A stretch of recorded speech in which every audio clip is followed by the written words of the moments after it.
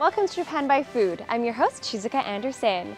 Today I am in Katsuura City in Chiba Prefecture, which is the second largest fishing village in Chiba Prefecture. And today we have very special permission to enter a fishing port and see what happens inside. Normally there are no visitors allowed, so we're gonna go inside and we'll see them bringing in the fish, and then of course we'll have a chance to taste the local fish prepared in a very traditional style. So let's go explore Katsuura City.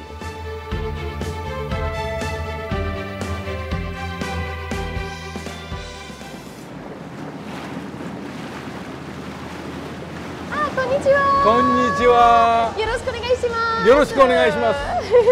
so this is Sato-san. He's going to be showing me around the fish market today. あのここで主にどういうことをされてるんですかこのはい場所で。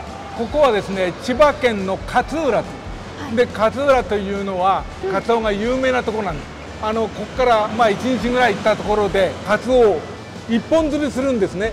ここにおろして、はい。でここで値段をつけて、でそれを日本全国にあのね行くんです。そこで勝浦のブランドなんですけど、はいどうしてそんなに有名なブランドになったんですか？勝浦はもう江戸時代から続いて勝浦であの一本釣りでこうビーンと上げるとそれで魚体も綺麗だし、ね、でそれがいろいろな料亭とか居酒屋でそれが評価されてるわけ、だから嘘をつかない。これだったら間違えないと。こういうのがやっぱりブランドイメージ上げてるんです。勝浦は絶対安全だと。あ、すごいですね。それがやっぱり一番大きいと思います。将来的にねもっともっと大きくなればありがたいないいですね。思ってます。じゃあ水揚げをしているところって見に行くことできますか？できますよ。おなるべく早い方がいいわかりました。大体6時ぐらいから始めてますので。おお、ええ。じゃあもうそろそろ。もうそろそろもう終わりです。じゃあ見に行きましょう。じゃあ行きましょう。Let's go! This is apparently the number one company for pulling in katsuo fish or bonito fish, and it's called the Myojin Maru. All of these kind of top brand fishing companies, they don't use a net to take in the fish. They actually fish them one by one. And you can see the fishing rods over there. They're all lined up. When you bring it in with a huge net, it tends to get damaged and that's it kind of ruins the quality of the fish. So the highest quality fishing companies, they fish them by hand. Amazing.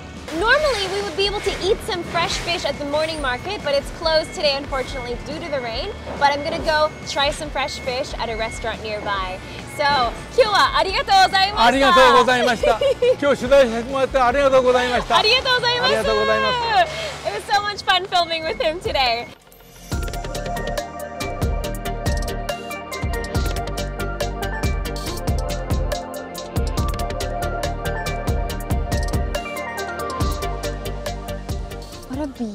Beautiful Japanese inn.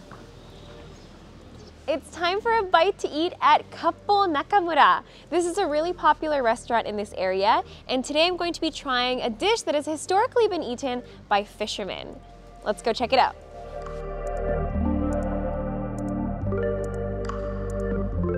They have a lovely Japanese style seating area. It's very cozy. ご注文いかがいたしますか？ちょっとなめろうを食べてみたいんですけど、はい、ぜひ、はいうちのなめろが今日はカツオですとかヒラメ、ヒラマサなどが入ってまいりますね。いいですね。じゃあはいぜひそれを一つください。はい、ありがとうございます。What's special about namero, it consists of various types of fish sashimi all mixed together, and then the fishermen would be able to actually make it on the boat. The name namero actually comes from the name nameru, which means to lick. All right, let's give this a taste.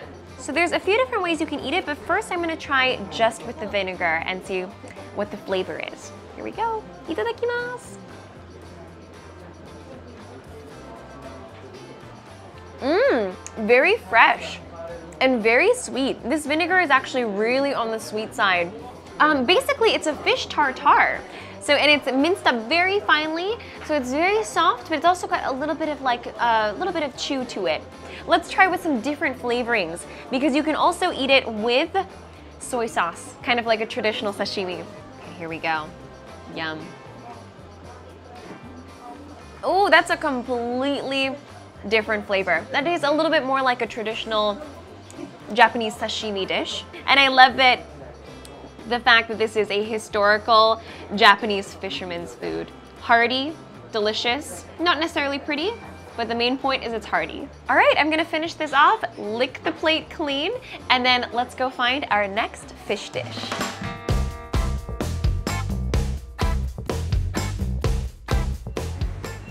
My second stop today is a restaurant that's actually right in front of the fishing port where we were this morning. It was a little bit too early to actually go to the restaurant, so now that it's a little bit later, let's go inside and we're gonna try some fresh maguro, aka tuna, and katsuo, which is bonito in English. はいいらっしゃいよろしくお願いします。じゃあ奥の席どうぞありがとうございます。お奥に席があるんですね。はいよ Alright, so now we're inside the restaurant and we're gonna have a little chat with the owner. このお店なんですけど、お店をオープンしてからどれぐらい経つんですか？えー、俺が48で今年54だから、えー、丸6年7年目かな。こういうお店じゃなくてその寿司をやりたくて、まあ、寿司はコストがかかるから、まあ、食堂にしてコンセプトが要するに勝浦っていう市を宣伝するアピールする。で勝浦に食べに来てくれる。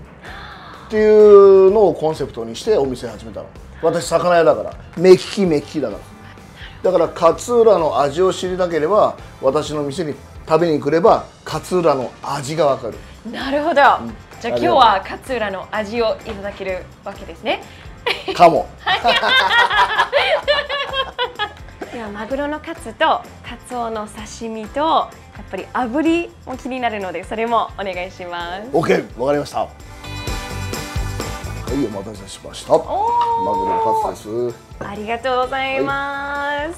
Looks amazing.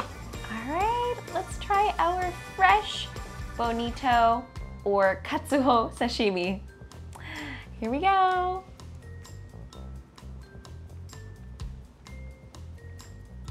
Surprisingly really meaty. First of all, it's so fresh. It's super, super good.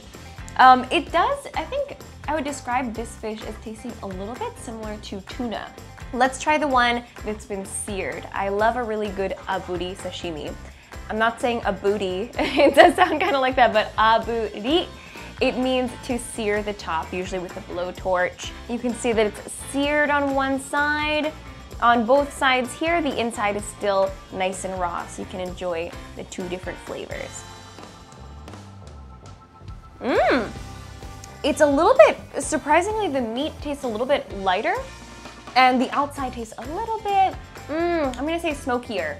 So you get a little bit of this like tuna steak taste. So speaking of tuna, let's dig into our fried tuna cutlets. That looks really good too. So I'm gonna enjoy this cutlet two different ways. One way is to eat it with some spicy Japanese mustard called karashi. Hmm. Really, really good. It is so juicy on the inside and the outside is extra crispy.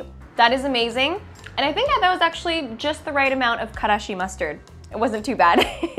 so let's try it with some tartar sauce. Mmm. I actually think I like the tartar sauce better than with the karashi.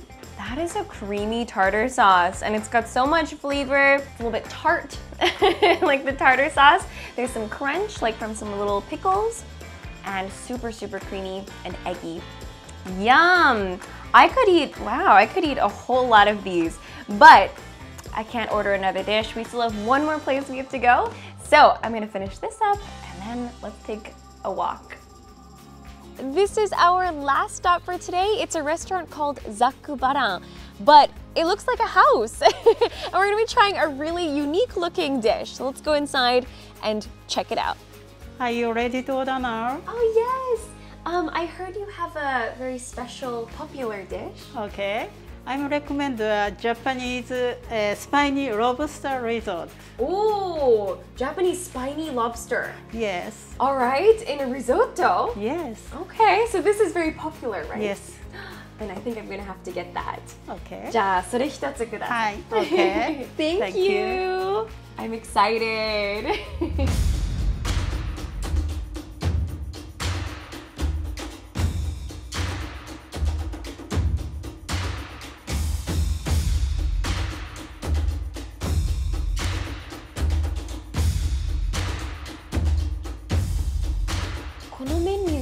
はい。あのどうやって思いついたんですか？遊び心。おおなるほど。こう決まり決まったものじゃなくてね、最初はあのお刺身の伊勢海老を作るじゃないですか、はい。その時に頭が残ってしまうんですよね。これちょっともったいないなと思ってご飯を入れてこうやってスープにして食べたら他の人がみんな美味しい美味しいって言って食べるんですよね。すごいだったらじゃあこれ商品にしたらいいんじゃないかなと思ってそこからスタートしたんですいいですね Very interesting story behind this risotto but it's time to give it a try like this wow okay oh that's a lot of meat inside look at this risotto look at that here we go いただきます